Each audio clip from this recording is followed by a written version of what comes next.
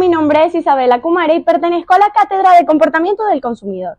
En Saya A, el día de hoy les hablaré acerca de la segmentación del mercado. Esta misma es un proceso fundamental que deben tener las empresas para encontrar ese público objetivo, cuyos productos logren satisfacer las necesidades de compra que tienen.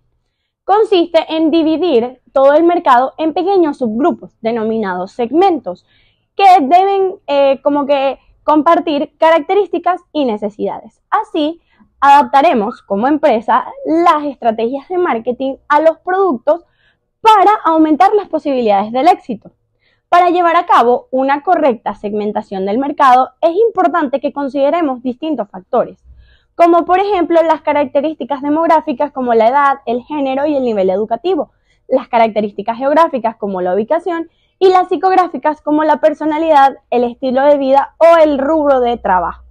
También debemos tener en cuenta las características conductuales como los hábitos de compra y la lealtad de las marcas de los consumidores potenciales. Cuando comprendamos estas variables podemos desarrollar la perfecta estrategia de marketing para poder lograr eh, llegar a ese público de manera efectiva. Los lanzamientos de nuevos productos son una estrategia clave para las empresas que desean crecer y mantenerse eh, en el mercado antes de lanzar un nuevo producto, debemos realizar una investigación exhaustiva que identifique esas oportunidades y evaluar lo viable que será nuestro producto. Así analizamos las necesidades del mercado, la competencia y determinamos qué valor único puede ofrecer nuestro producto que lo diferencia de los demás. Una vez hayamos desarrollado dicho nuevo producto, es fundamental que tengamos la publicidad y la distribución de manera correcta. La publicidad es una de las herramientas más poderosas en el marketing, ya que al dar a conocer nuestro nuevo producto a las personas que lo necesitan y generar un interés, con campañas publicitarias, publicidades efectivas y eso, vamos a lograr que los consumidores entiendan que necesitan nuestro producto. Y así los persuadiremos para que lo adquieran. La distribución también juega un papel crucial, ya que debemos crear esas alianzas con empresas que realmente necesiten nuestro producto y logremos ver qué personas van a qué empresas y así podemos diseñar cadenas de suministro, establecer canales de distribución efectivos y lograr la compra de nuestro producto. Las influencias situacionales y los tipos de situaciones son conceptos muy relevantes en nuestro campo. Las situaciones de consumo se refieren al contexto en el que se realiza una compra y esto puede influir en el eh, comportamiento de los consumidores. Por ejemplo, si compramos un regalo de cumpleaños, esto está influenciado por ser una situación especial, por el deseo de complacer a la persona que lo va a recibir y así.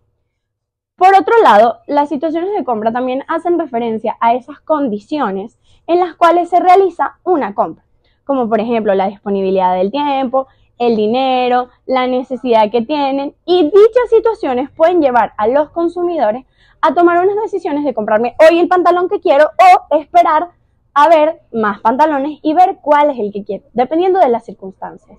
Las situaciones de comunicación involucran este contexto en el que se produce una interacción entre la empresa y el cliente.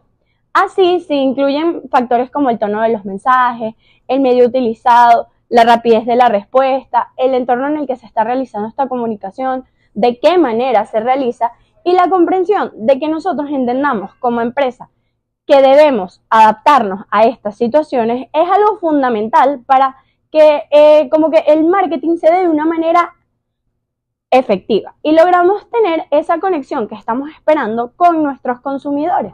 Si yo le doy un maltrato a una persona o tengo muchas barreras en mi comunicación, tardo mucho en contestar o algo, no van a comprar, evidentemente.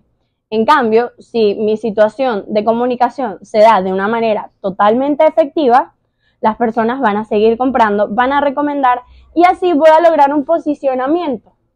Tener en cuenta todos los factores que acabamos de mencionar es muy importante para lograr eh, que nuestro nuevo producto o nuestro producto en general se posicione de una manera importante si logramos hacer una buena segmentación de mercado, con una buena eh, publicidad y una buena distribución, y las situaciones de compra y las situaciones de comunicación son efectivas, o están de nuestro lado, nuestro producto va a tener un auge increíble. Muchas gracias.